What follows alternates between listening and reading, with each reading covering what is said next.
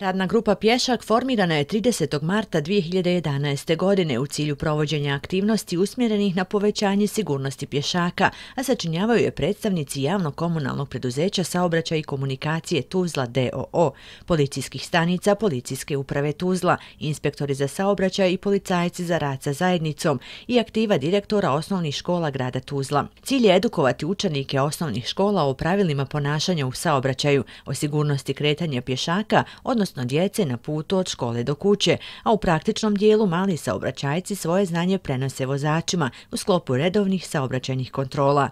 Ulozi saobraćajaca ovoga puta su bili učenici osnovne škole Solina. Upozoravao sam vozače da, ne nos, da se vežu pojasma i da ne nose prilikom voženja telefon. Rekli smo vozačima koja su najvažnija pravila u saobraćaju. Osim obaveze vezanja sigurnosnim pojasom i zabrane upotrebe mobitela tokom vožnje, mali saobraćajci vozače su podsjetili na obavezu paljenja svjetala, obavezu korištenja sjedelica za bebe i djecu mlađu od 5 godina te radarske kontrole brzine kretanja automobila.